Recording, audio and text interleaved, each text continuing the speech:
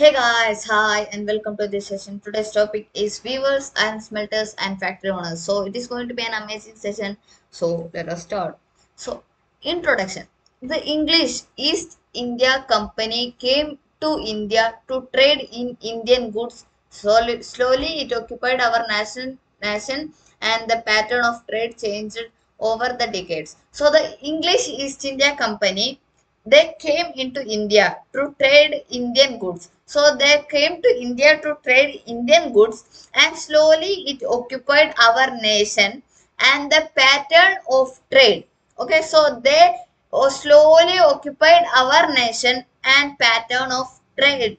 Pattern of trade changed over the decades. So the pattern of cha- trade changed over the decades. So the crafts and industries of India during British rule focused on two industries textiles and iron and steel.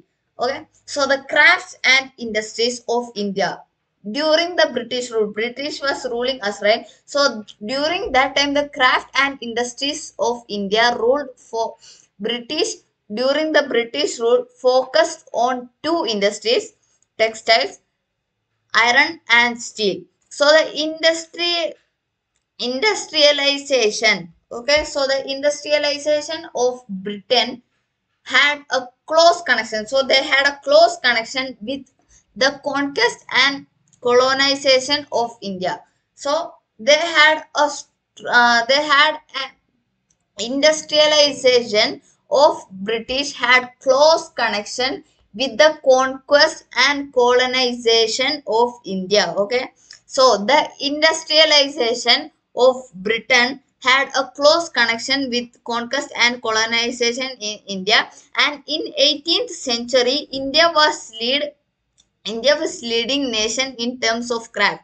So the India was leading the leading nation in the terms of craft and trade, but the but with industrial industrial revolution. Okay, so India was leading uh, India was leading nation in the term of craft and the trade, but with the industrial revolution. Okay, so the Britain came to know as workshop of the world. So the britain came to know as the workshop of the world okay? So and the with the growth of the industrial production british industrialists began to see india as a vast market for their industrial products. And the over years manufactured goods for britain began flooding in india.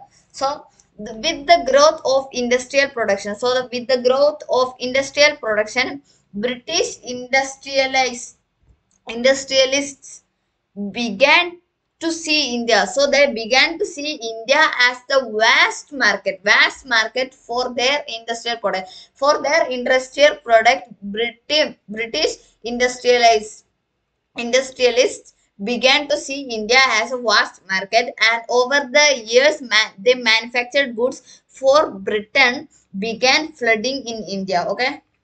So now Indian textiles and world market. So Indian cotton textiles in West Africa. Okay. So around uh, 1750, around 1750, India was world's largest producer of cotton textiles. So around 1750, India was the world's largest producer of cotton textiles. Okay. So the Indian textile was renowned, renowned both for finer quality, finer quality, best quality, and exquisite exquisite craft craftsmanship so okay so and from the 16th century european traders began buying indian textiles for sale in europe. So ex exquisite okay? Sorry exquisite so from from the 16th century european traders began buying indian textiles for sale in europe. So in the 15th uh, 16th century the europeans you know right europe continent. So european traders began buying indian textiles. So they began buying indian textiles for sale in europe because india was indian textile renowned both for its final quality okay so moving on now the world tell us sto- histories so indian textiles were famous in western markets under different names such as muslin calico chintz bandana. bandana. So, muslin The material was first made in the city of Mosul, now in Iraq. So, it, now in Iraq, from which it derived its name. So, muslin. The material was first made in the city of Mosul. It is now in Iraq, from which it derived its name. Okay. So, and the word muslin, muslin means any finely woven textile used for making clothes. So, the word muslin means fine, finally woven textiles. So, the finally woven textiles used for making clothes. So, the finally woven, woven textile used for making cloth is known as muslin. Okay. So, are you guys understanding? Are you guys understanding? Okay. So, calico. The word calico is a general name for all the cotton textiles used for the used for making clothes. So the word calico is general name. It's a general name for all cotton, all cotton textiles used for making clothes. So uh, all cotton textiles used for making clothes is known as calico. And when the Portuguese first came to India, so when the Portuguese first came to India in search of spices, they landed in Calicut, now Kozhikode. So sorry, now Calicut when the Portuguese first came to India in search of spices, they landed in Calicut. Okay. So, on the Kerala coast in southwest India. So, on the Kerala coast, southwest India, and the cotton textiles which they took back to Europe along with the spices came to be called calico. So, the cotton textiles which they look they took back to Europe. They took back to Europe from the Calicut along with spices came to be called calico. Okay. So chintz. The word chintz meaning a printed cotton cloth. So it's a printed cotton cloth and is a term derived from the Hindi word chin. Okay. So it is derived from the Hindi word chin and a cloth with small colorful flowery designs. So it is a cloth with small colorful flowery designs and bandana. So the word bandana which refers to any bright color, bright colored and printed scarf tied around the neck of the head. So a scarf tied around the neck of the head is derived from the Hindi word for tying bandana. Okay, so moving on now the Indian textiles in European markets. So I had told you the uh, the Europeans took from 16th century, the European traders began buying Indian textiles for Europe. Okay, so now the popularity of Indian textiles during 18th century worried the wool and silk markets in England. So they began protesting against the import of Indian cotton textiles. So the they began to protesting against okay against the import of Indian textiles. Okay, so the Calico Act so in 1720, British government banned the use of printed cotton textiles in England. So the British government banned banned use of printed cotton textiles in England. The law was called Calico Act. Okay. So now at that at this time textile industries had just begun to develop in England. So this time the textile textile industries had just began to develop in England. So the English textile producers found it difficult to compete with the Indian textile. So the English textile producers found it difficult to compete with the Indian textiles and hence they prevented the entry of the Indian textiles into England. Okay. So to overcome the stiff competition from the Indian textiles in the European market, the English weavers invented new machines to make clothes cheaper. So that to overcome this stiff, the stiff com competition from Indian textiles in the European market, the English weavers invented new machines to make clothes cloth cheaper. Okay so they invented new machine to make cloth cheaper. And in 1764 the spinning jenny was invented by john kaye which increased the productivity of traditional spindles so in i will explain you what is spinning jenny. So in 1764 the, the john kaye which increase uh, he invented the spinning jenny increased the productivity of the traditional spindle. So now let us look let us look what is spinning jenny. So now what is spinning jenny? The spinning jenny is a multi-spool. The here is a spinning jenny. You can see the image. The spinning jenny is a multi-spool spinning wheel. Okay, so it's a multi-spool spinning wheel the device dramatically reduced the amount of work needed to produce yarn. A single worker was able to work I or more spools at once. Okay. So was able to work eight or more spools. Sorry, eight or more spools at the at once. So uh, this a single worker, a single worker. I think a single worker was able to work eight or more spools at once. At once. Okay. So and in 1786, the invention of the steam engine Richard R. Arkwright revolutionized cotton textile weaving. Okay. So in the uh, the invention of the steam engine by Richard Arkwright, Arkwright revolutionized cotton textile weaving. So, who is Richard Arkwright? Now, let us look who is he. So, Richard Arkwright. Arkwright's achievement was to combine power, machinery, semi-skilled labor and a new raw material like cotton to create mass production. So, his achievement was to combine the machinery, semi-skilled labor, power and the uh, cotton or the new raw material to create a mass production. So the cloth could now be woven cheaply in immense quantities. So now the cotton could be uh, so the now the cloth could be now woven cheaply in immense qualities. Okay. So, however, Indian textiles continued to dominate world trade till the end of the 18th century.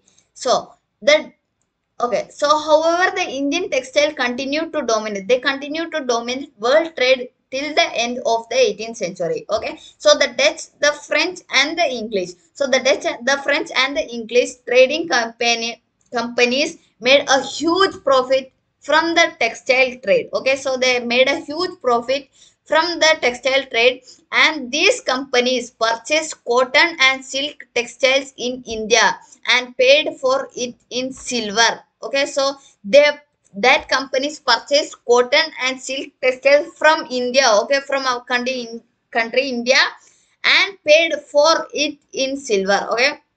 So when the English East India Company gained political power in Bengal, so when the English East India Company gained the political power in Bengal, okay, so it stopped paying for its it with precious materials. So it stopped um, like paying paying the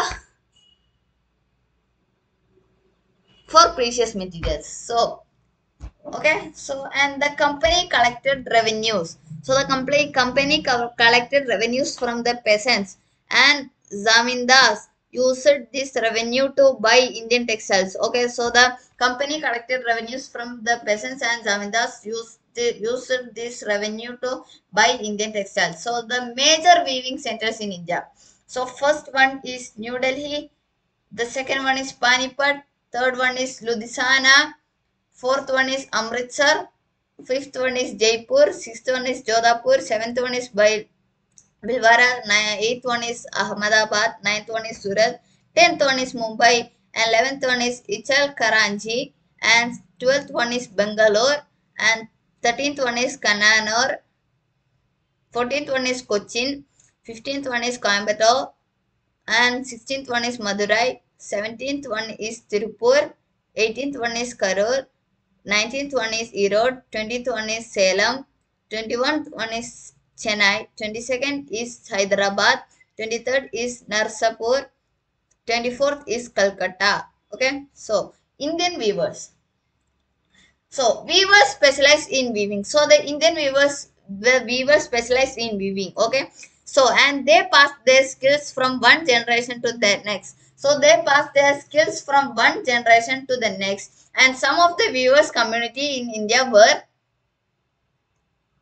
the Tanti of uh, the, we- the Tanti weavers of Bengal. So the some of the weavers community in India were the Tanti of weavers of Bengal, the Julahas or Momin weavers of North India, and Sal or or sorry and Kaikollar and Devangs of South India. Okay. So the now the art of the weaving. So the cotton was first spun into yarn. So the cotton was first spun into the yarn. Okay, and this that was called the spinning and was done by it was done by women. Okay, and the charkha, you know, right? The charkha and the takli takli were household spinning household spinning instruments. So the the charkha and takli were the household spinning instruments and the the thread was spun on the charkha okay? So the thread was spun on the charkha and the rolled on the takli okay? So a charkha when the spinning was over the thread was woven into cloth by weaver. Weaving was mostly done by men. So the when the spinning was over the thread. Okay when so when the spinning was over the thread was woven into cloth by weaver. Weaving was mostly done by men. Okay now the decline okay? Now the decline of indian textiles so the development of cotton industries in britain af- affected textile producers in india in several ways. So the development of cotton industries in britain affected the textile producers in india okay? In india in the several ways in many ways. So the indian textiles now had to compete compete with British textiles in the European and American markets. So now the Indian textiles had to compete with the British and British textiles in the European and American markets. So now the exporting textiles to England become increasingly difficult as very high duties were imposed on Indian textiles imported into Britain. Okay, and in the beginning of the 19th century, okay, 19th century, English made made cotton textiles were preferred to Indian goods and the Indian textiles lost their market in Africa. So the Indian textiles lost their market in the Africa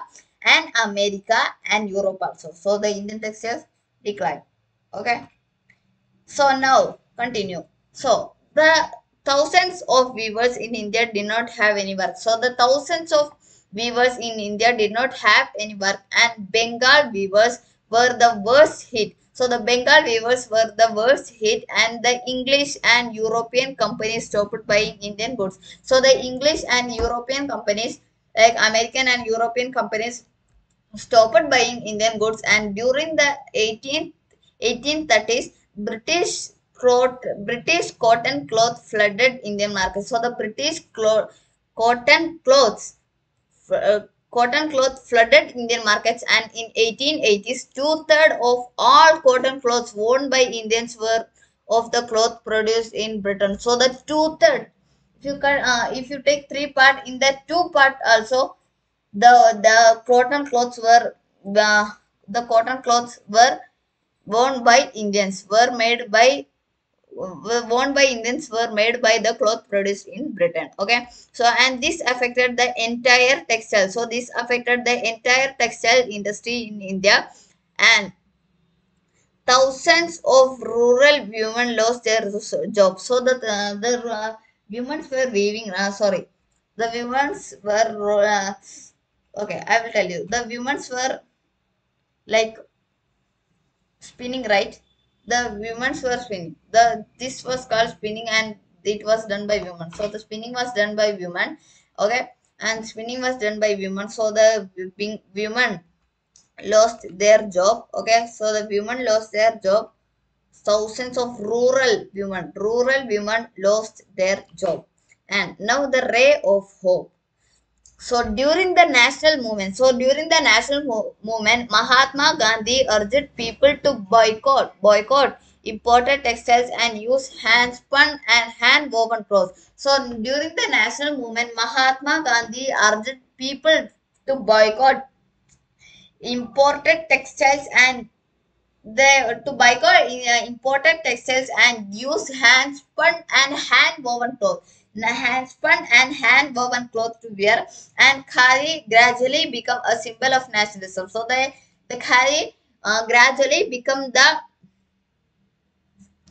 become the symbol of the nationalism and the charkha came to represent india and it was put at the center of tricolor flag of indian national congress adopted in 1931 so the tricolor Okay, so the Charkha came to represent India and it was put at the center of the tricolor flag of the Indian National Congress adopted in 1931. Okay, so now the cotton mills come up.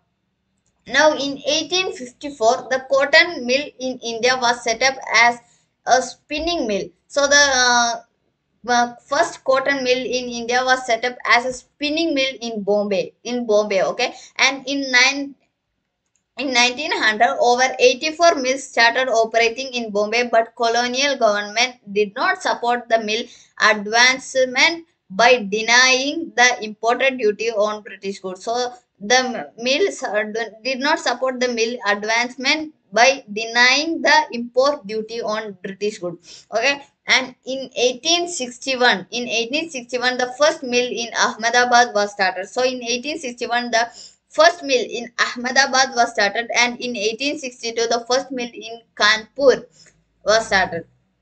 Okay. And the textile mills faced some problems. The textile mills faced some problems initially and the mills found it difficult to compete with cheap textiles imported from Britain. Okay, so they it was uh, difficult. It they found difficult to uh, compete with cheap textiles imported from Britain. Okay, and in most countries, government supported industrialization by imposing heavy duties on imports. Okay, so the in most countries, government supported industrialization by imposing heavy duties on imports. Okay, and the first major boost the first major boost in the development of cotton factory production in India was during the First World War. So the first major boost, first major boost of in the development of cotton factory, in the development of cotton factory production in India was during the First World War. First World War. Okay, and during this time, the textile imports from Britain declined, and Indian factories were called upon to produce cloth for military supplies. So the uh, during this time, the textile from Britain declined and Indian factories were called upon to produce cloth for military supplies. Okay. Now, here is an example Mumbai textile mills you can see and Manchester of India, Ahmedabad that also you can see. Now, the sword of Tipu Sultan and Wootz steel. So, Tipu Sultan ruled in Mysore till 1799 he fought four wars with the British and dead fighting with his sword in his hand.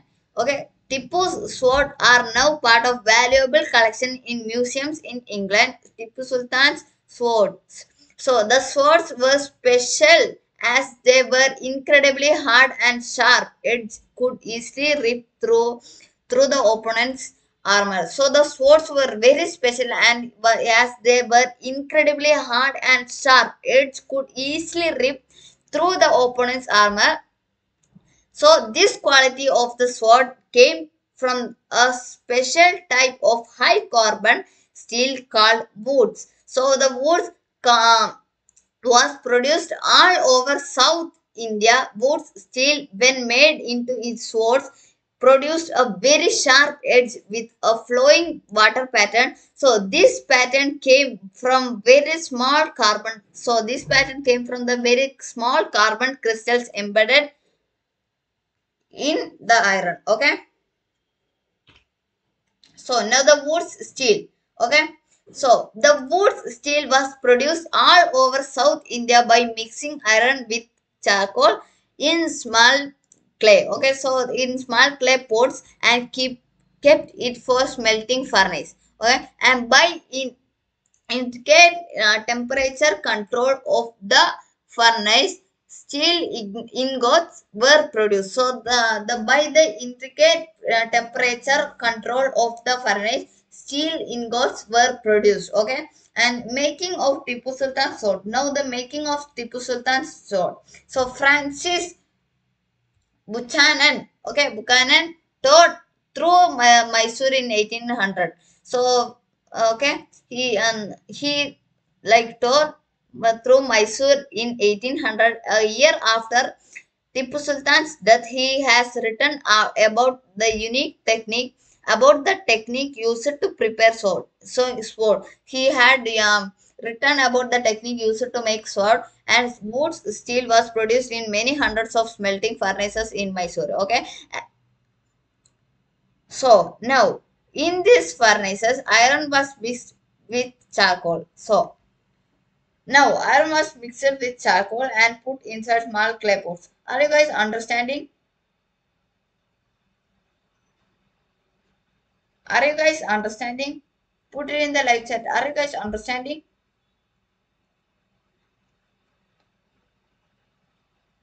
so now the true and intricate control of temperature the smelters produce steel ingots that were used for sword making. So through an intricate control of temperature the smelters produce steel ingots that were used for sword making. Okay and now abundant furnaces in villages. So as the British established political power in India, the production of wootz, steel, stopped and iron smelting furnaces were abandoned. So now as the British established political power in India, the production of wootz, steel uh, stopped and the iron smelting furnaces were abandoned. Okay. Now the reasons for decline of iron smelting. Now the reason for decline of iron smelting. Okay. So one reason was the new forest laws. When the colonial government prevented people from entering the reserve forest, the iron smelters could not find wood for charcoal and would not get iron ore. So defying for okay. So one uh, one reason was the new forest laws. One reason was the new forest laws that when the colonial government prevented people from entering the reserve forest, the iron smelters could not find wood or charcoal for and could not get iron ore. Okay so they could not get iron ore and defying forest laws. Then they often entered the forest and collected wood secretly but they could not sustain their occupation on this basis for long. So after much effort they were allowed but had to pay greater tax. They were allowed but they had to pay greater taxes which often reduced their so by late 19th century, iron and steel was being imported from Britain. So iron and steel was uh, being imported from Britain and this inevitability lowered the demand for, for iron produced by local smelters. Okay. So this demand, uh, this uh, inevitability, inevitability lowered the demand, demand of sorry for iron produced by local smelters. Iron smiths in india began using the imported iron to manufacture utensils and implements lowered the lowered the demand for the iron production by local iron smelters okay? So this was the reason for decline of the iron smelting okay? Are you guys understanding? So now iron and steel. Iron and steel factories come up in india so in the year of 1904, American geologist Charles Weld and Dora, Dorabji Tata discovered iron ore in the Rajhara hills of Chhattisgarh. So they uh, discovered the iron ore in Rajhara hills of Chhattisgarh. The Agaria community were native inhabitants of this region. Okay. So the Rajhara Hills had one of the finest ores in the world. So the that hill had one of the finest ores, ores in the world and the Tats were not able to start their own uh, iron and steel factory near the Rajhara Hills as the region were very dry Okay, so the as the region were very dry, the steel factory needed plenty of water. So the steel factory needed plenty of water, and a few years later, a large area of forest was cleared on the banks of the river Subarnarekha, Subarnarekha to set up the factory. Okay, so to set up the factory, and the industrial township was named Jamshedpur. Jamshedpur, you now you also you know Jamshedpur. Jamshedpur, you have heard somewhere, right? So Jamshedpur. Are you guys understanding? So Jamshedpur after Dorabji, Tata's father Jam Jamshedji Tata. So that was the iron and steel factories come up within India. Are you guys understanding? Put it in the live chat. Okay, moving on. Tata Iron and Steel Company TISCO. So the Tata Iron and Steel Company TISCO that came up in Jamshedpur began producing steel in 1912. So the TISCO was set up and at an opportune time. So all through the late 19th century, India was imported steel that, that was manufactured in Britain. So expansion of the railways in India had provided a huge market for rails and that Britain produced. So the expansion of railways in India had provided a huge market rails that Britain produced. So the British experts in India Indian Railways were unwilling to believe that goods quality steel could be produced in India. So in 1914, the First World War broke out. So the in 1914, First World War broke out and steel produced in Britain had now to meet the demands of war in Europe. Okay. So now continue. So imports of British steel into India declined dramatically and the Indian Railways turned into Tisco TISCO for supply of railways. Okay, so as the war dragged on for several years, Tisco had to produce shells. So they had to produce shells and carry carriage wheel of the war. So by 1919, the colonial government was buying 90% of the steel manufactured by TISCO. Soon the TISCO Tisco became the biggest steel industry in the British Empire. So it became the biggest steel industry in British Empire, the iron and steel and cotton textiles industry eh, industries expanded only where British imports into India declined on the and the market for Indian industrial goods increased. This look this took place during the First World War and after. So this took place after the First World War and after. Okay. So let's move on.